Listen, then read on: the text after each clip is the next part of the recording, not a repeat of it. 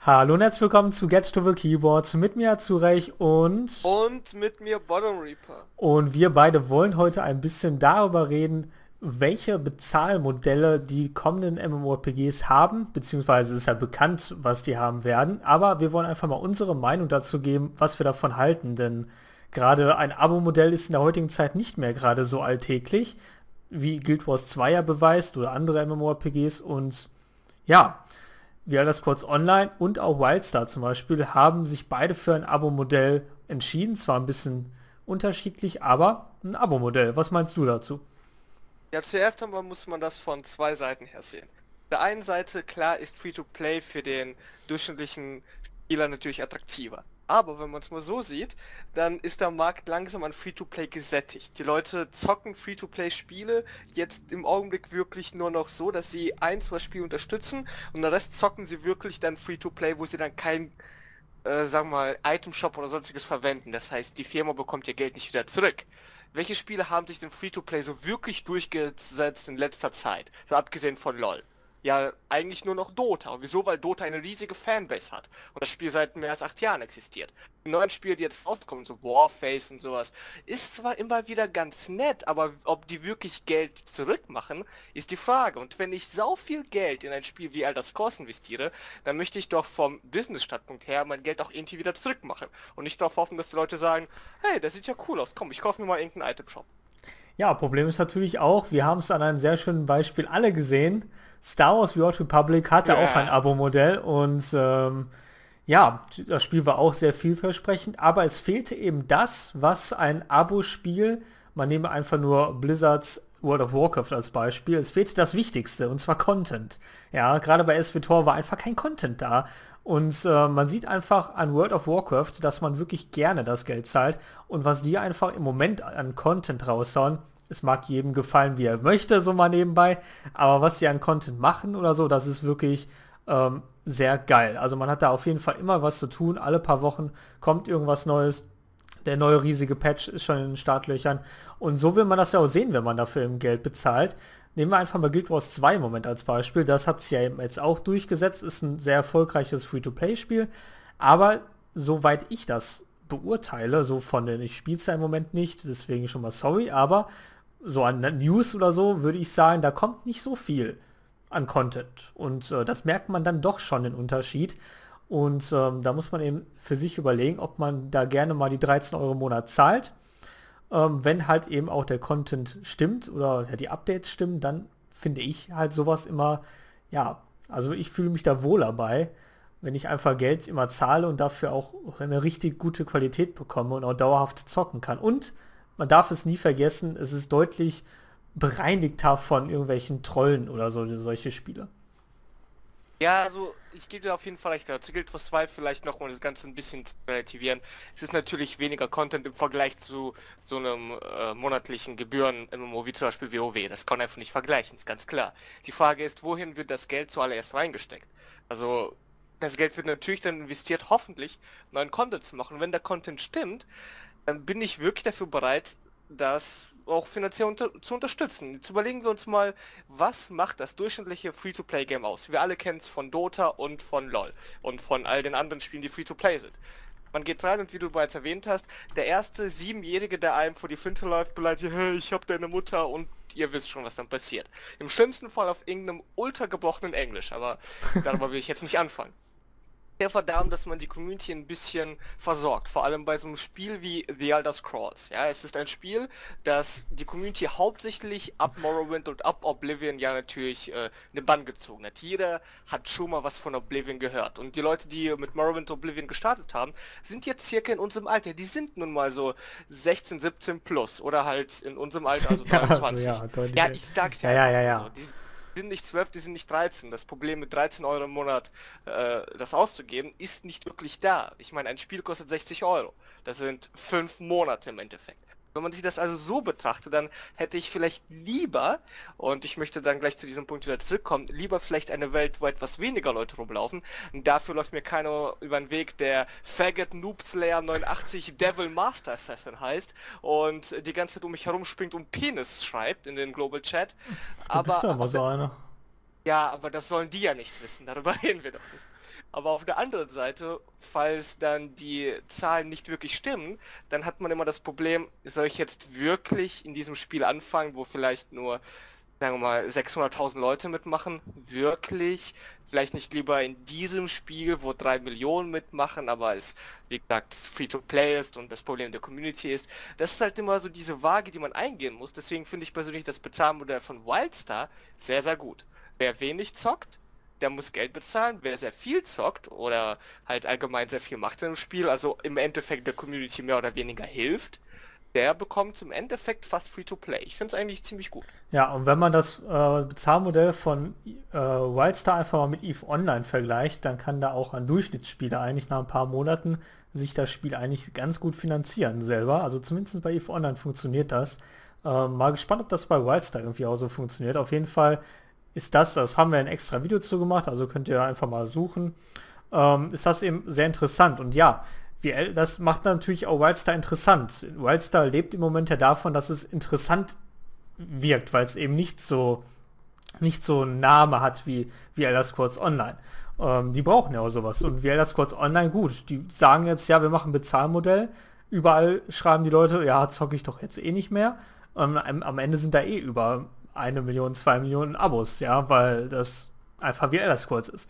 Die werden ja, damit nicht Problem so ein Problem daran, haben.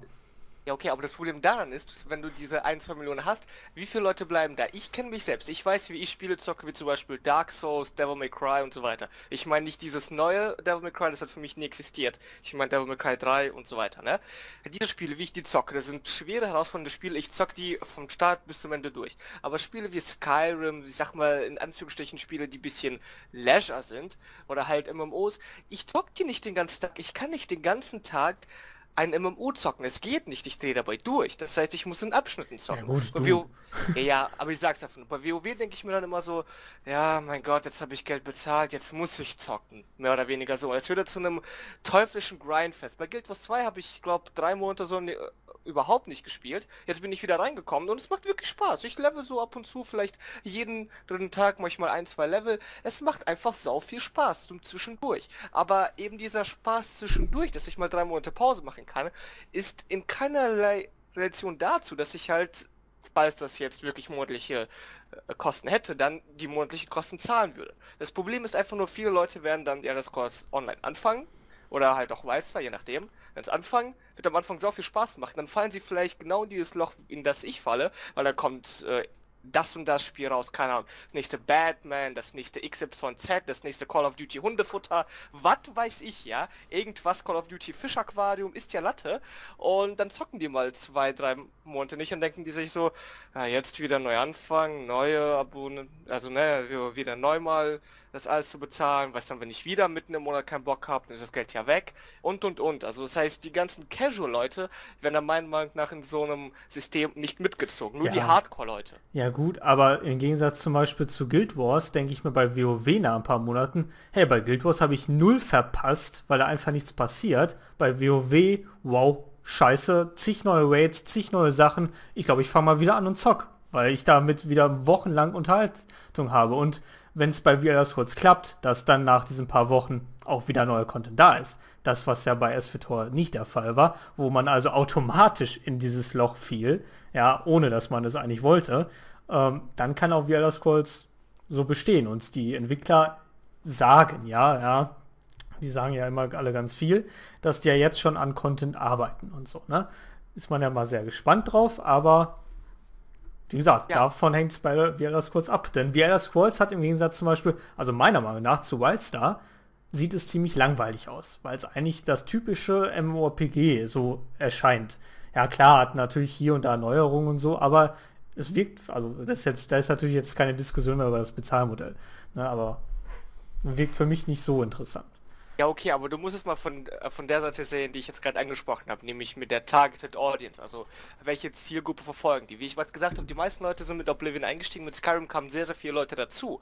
Aber hauptsächlich lehne ich mich mal sehr weit aus dem Fenster, sodass eigentlich ich nur noch mich mit meinen Füßen irgendwo am Geländer festhalte und sage, die durchschnittlichen Leute, die jetzt gehypt sind auf Elder Scrolls Online, sind 15 plus. Sage ich einfach mal so, weil die Leute sind mit Morrowind aufgewachsen, mit Oblivion oder haben zumindest mal gezockt oder jetzt halt mit Skyrim Skyrim und natürlich Fans der Fallout-Serie und und und. Das sind eher Spiele, die als äh, Zielaudience eher so die, sag mal, Jugendliche und Erwachsene und so weiter plus zielen. Ja. Und die Leute haben Verpflichtungen. Wir beide auch. Wir Semesterarbeit, Bachelorarbeit, dies und das. Alle, Aber die, die Leute haben auch Geld.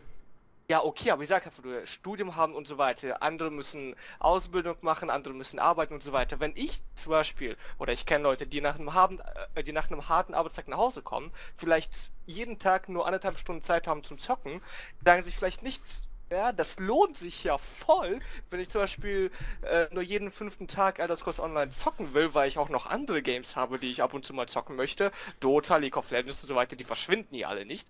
Und dann sagen die sich so, ja, pff, hm, lohnt sich das jetzt wirklich? Meine Befürchtung ist einfach nur, dass Elder Scrolls damit zwar hoffentlich super erfolgreich wird. Ja, ich will mir das Spiel auf jeden Fall holen, ich werde es auf jeden Fall antesten. Aber dass die mittendrin, so nach vielleicht den ersten drei, vier Monaten, wo der ganze Hype dann aufhört, so hart abebben, dass die ganzen Leute dann sagen, ja okay, jetzt holt sich das Spiel eh nicht mehr oder dann sie sagen, jetzt ist ein anderes Spiel draußen. Ich finde es halt wirklich viel besser, wie die das bei Wildstar gelöst haben, auch wenn ich nicht komplett jetzt Elder Scrolls verarschen will. Ich finde es immer noch besser als Free-to-Play, versteht mich nicht falsch, immer noch besser. Aber ich finde es halt einfach so besser, dass man sagen kann sozusagen, okay, ich könnte jetzt auch ein bisschen weniger spielen, aber es wäre immer noch kostenlos und ich hätte nicht diesen Zwang im Hinterkopf, dass ich sage, ich muss spielen, denn ich habe ja bezahlt. Ja, das stimmt wohl. Aber jeder, der, also es gibt natürlich aber auch sehr, sehr, sehr, sehr viele Leute, die eben den ganzen Tag arbeiten, dann aber auch Geld haben und dann am Abend ruhig damit zufrieden sind, einfach mal äh, schön mit Kollegen oder so eine Runde zu raiden, ne?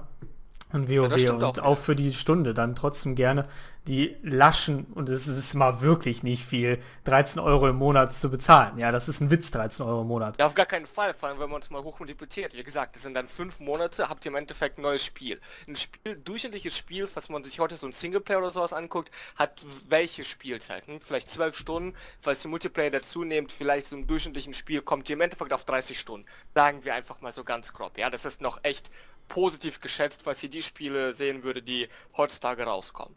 Man jetzt keine Spiele wie Skyrim oder sowas. Und diese 30 Stunden dann verteilt auf 5 Monate, wie viel ist das? Pro Tag. Extrem wenig. Aber beim MMO habt ihr auf jeden Fall, egal welches MMO ihr nehmt, im Preis-Leistungs-Verhältnis, also das heißt im Preis pro tatsächlich aufgewandtes Spielzeitverhältnis, einen der besten Deals, den ich je gesehen habe. Weil es einfach super ist. Ihr werdet auf jeden Fall mehr zocken, als diese 30 Stunden über die 5 Monate verteilt. So habt ihr im Endeffekt einen super Deal. Egal, ob ihr jetzt wirklich jeden Tag zockt oder nur jeden fünften Tag zockt. Ist auf jeden Fall gut. Ja.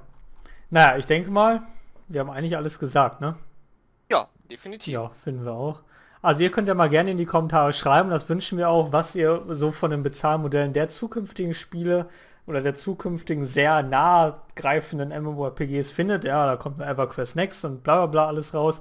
Aber ich denke mal so Wildstar und äh, Elder Scrolls Online, die kommen ja noch dieses Jahr. Und ähm, ne, so noch Weil man das nicht ne? genau weiß. ja, weil, weiß, weiß man nie, ne, so genau.